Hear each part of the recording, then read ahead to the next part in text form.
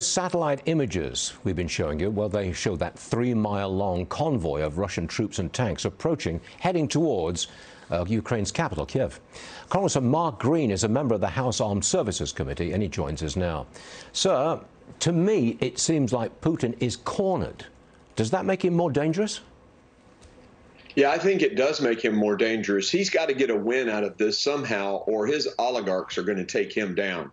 So this, uh, both the convoy and stepping up the basically to def his version of DEFCON five, if you put it in our words, um, is is that kind of an escalation that shows he's trapped. And uh, this is a very dangerous place for us, Stuart. Can I just follow up on that? Because a few moments yeah. ago, Kurt Volker, he was former U.S. ambassador to NATO, he told me just a moments ago that he doesn't think Putin survives. He thinks Putin could be taken down by his own generals.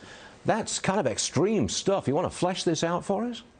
Absolutely. I'm in communications with senior leaders in Ukraine via via text and some of the apps, and and they now see an opportunity um, that that that if they continue to resist and hold on a little longer, and the price gets a little bit more, more body bags. And right now, when they texted me last night, 4,500 Russians had been killed or wounded, uh, 15 tanks, 30 armored personnel carriers, about 30 aircraft. This is costing Putin far more than he ever imagined.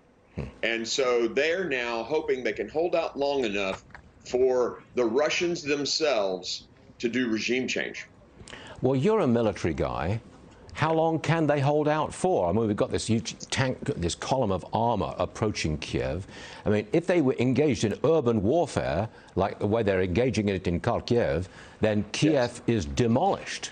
What would be Putin standing after that? Well, clearly, he's already got a horrible standing throughout the West. Now, I'm not sure how Xi Jinping is taking this carpet bombing method, but you know that's an important piece of this. India is another very important piece of this, and I think we're starting to see, and I follow several of their leaders, the tone on their Facebook is turning.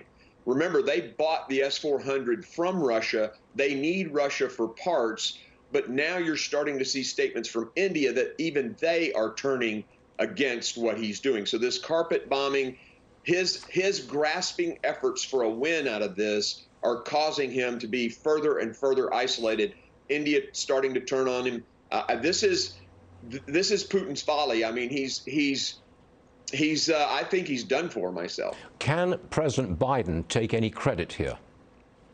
No, I don't think so. President Biden stair stepped this process, and it, it emboldened Putin at the beginning we, we could have been definitive, decisive from the beginning, and perhaps even stopped it from happening. Happening. So I, I almost blame Biden. His initial words were great. The rhetoric. I told him, hey, they, they they're getting this one right. Even Blinken's comments, and then they executed just in a half measures keep and even the swift transactions they're talking about making exceptions for energy. That would be the whole point of what we do is to shut down their energy economy. It's 40% of their economy and oil's 101 or 102 bucks right now. It's going to maybe 120 130 that just doubles putin's income. So we we are just doing half measures from our administration.